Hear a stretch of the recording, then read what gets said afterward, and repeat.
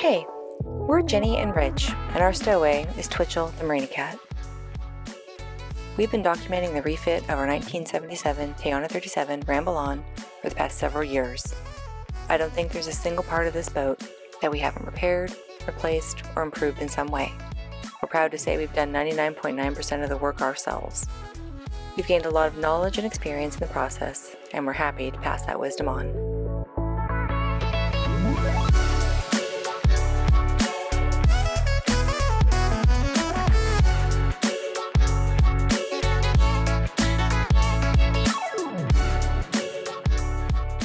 Need to get a mattress, like a mattress pad, or just you know, like Yeah. a quilted cover. Yeah, like a quilted mattress cover or something. Yeah, because and I'll sew it. I can feel this. I Yeah. can feel the joint here because I'm pushing down on it right Yeah. at the edge when so I'm I on think my if shoulder. we have that, that'll help that. When I'm on my back, it's not so bad, but I'm not allowed to sleep on my back because I snore too much.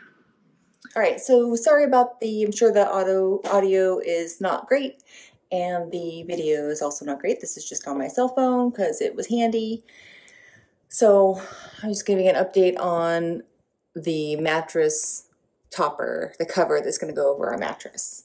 This is the toe along this edge. The toe of our V berth is 30 inches. So what I did is I just found the center marked off 15 inches both directions, then measured up to about our shoulder area. That's how far the cut's going to go up. And then it's going to go straight. Our cushion, our, our mattress actually goes up and then it goes in and then up and then in again. But we don't need that. This will be fine, I think. Because straight sheets, we use straight sheets right now and they fit fine.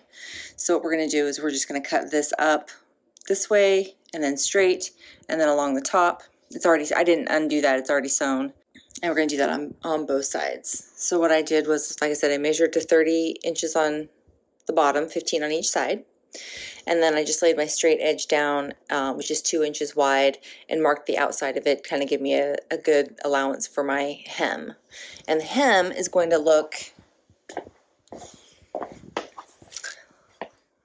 It's not going to look as nice as this, but it's going to look like this. I'm going to have to zigzag the edges like that.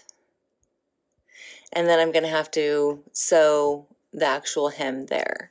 So it's this is kind of the elasticy piece, plus the top, plus the filling, which is coming out, and then the bottom piece.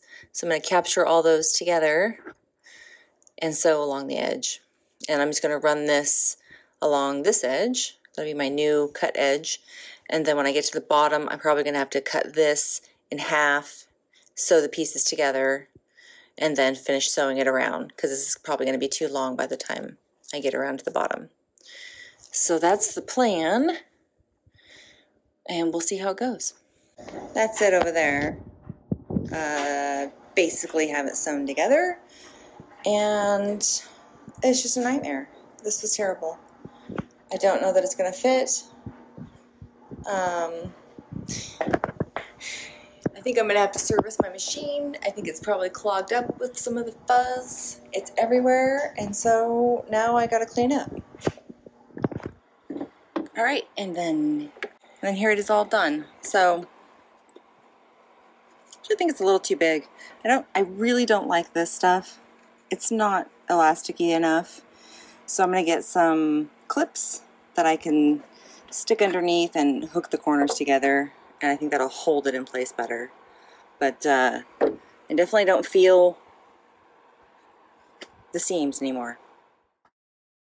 Yeah, so in the shed, it was in the box in its Lewmar packaging, and it had the. Uh, it was sitting on a glass table, and underneath it, stuff started catching on fire and burning. And what had happened is it had melted up, and like so from the bottom up. So the bearing cages are in good shape. Yeah, it didn't But- burn. This didn't burn. Right. So it had a plastic sleeve. I had to cut this thing off the main shaft to get it. Uh, but this thing, it basically just started going and melting downward. Um, the bearing. Oh yeah, you can see it's all melted right there. Well, these are these are the two gear spindle shafts. They had actually started puddling down like this. So So I got some plastic bushings and put the winch back together crap, and uh, you know it comes with various little sleeves and bushings, and it's literally like half as long as the this one. So basically, what I ordered, this ten dollar piece of plastic, is uh, half as much as I need. These bushings here, these ones that got a little melty here, they're half the size or half the height of the ones that come in the bushing kit. It has an exploded diagram. This is right off Lewmar's website, lewmar.com. It doesn't even show. It shows the little plastic bushings. It actually shows two of them in each spindle gear. It doesn't show the plastic sleeve on this. And this is this is kind of a broad spectrum. It's size 30, 40, 45, 50. So all the pieces and parts are what they are. But it would have been nice if they'd have said you need two of these to finish a shaft. So, oh well. I mean, I'll figure it out. I don't know. Well, to be continued. Yeah, for sure. All right. I still. All right. So after another week, I got the uh, main shaft bushings delivered, and these are the uh, these are the ones that melted. It takes two of them to fit up inside this thing. So I got a couple of spares also. So these get pushed in from the bottom, and they f- go all the way shoved up. There's a shoulder that stops stops them from going any further, and that's what this uh, the main shaft gear spins on. Ooh, can we grab that? What is holding this thing up? Yeah, that doesn't matter. I just thought this would slide out a little bit. There we go.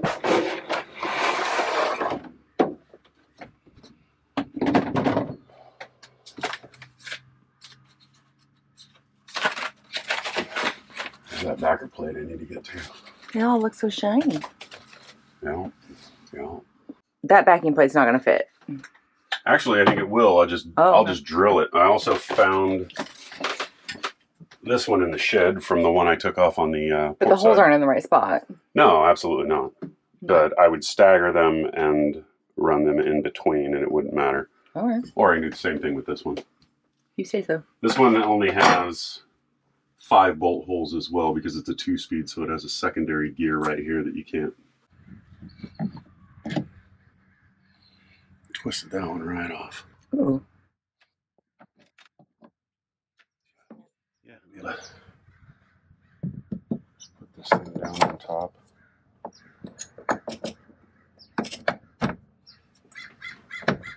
There it is. Beautiful. Beauty, Beautiful. beautiful. Beautiful. That's mine. You can't use my thing.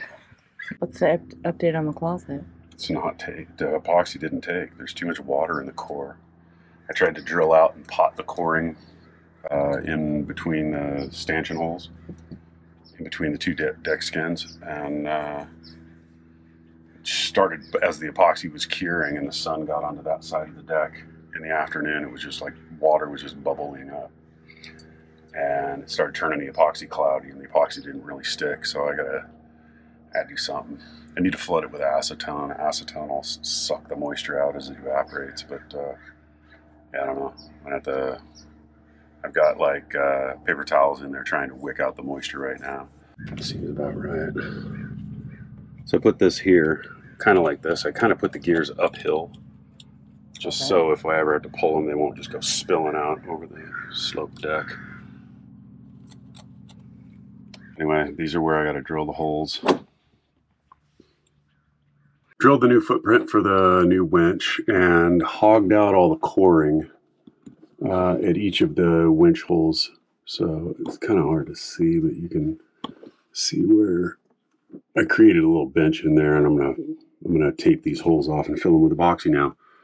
And then tomorrow I can drill them out and mount the hardware. There's five bolts on this uh, winch base. Two of the holes lined up with the backing plate, so I'm going to use them with a couple of flat washers. And I'm just wing nutting it down just to lock it in place so I can uh, drill the other three holes. All right, so I spotted a couple of holes with the uh, with the bit. One right there, one right here, this one right here. These two are the ones I'm going to reuse. For the new Lewmar, I'm going to use a couple of flat washers for the two holes right here and then just plug these ones. All right, let's drill these things out.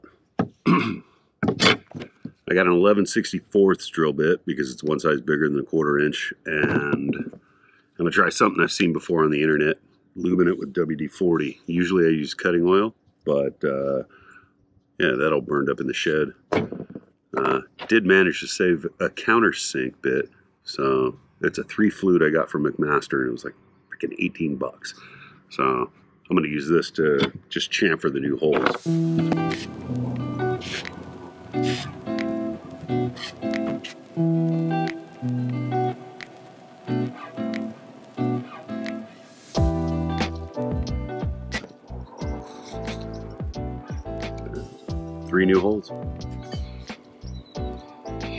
So I did a little countersinking on the pad and put butyl tape around the bolts that are going to hold the winch down. Basically, that's, that's all there is to it. Now just install the backing plate and the nuts. All right, and I just want to add a little bit of Tef-Gel on the uh, bottoms of the threads. A little bit of anti-seize kind of. All right, give it a butyl a couple of days to relax and I'll uh, tighten it down a little bit more as it squeezes out, but that's pretty much it.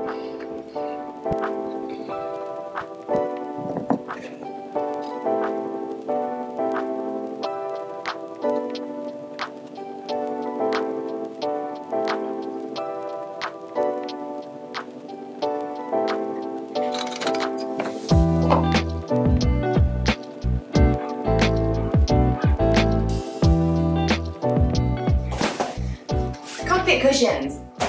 So we're doing um, just some kind of basic cockpit cushions. We're doing them actually short. We're not gonna cover the whole cockpit in cushions. Rich picked this out.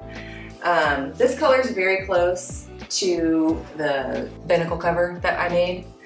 So we kind of thought it would look nice. You can't blame me for picking this color. I didn't blame you, I was giving you credit. There's a difference.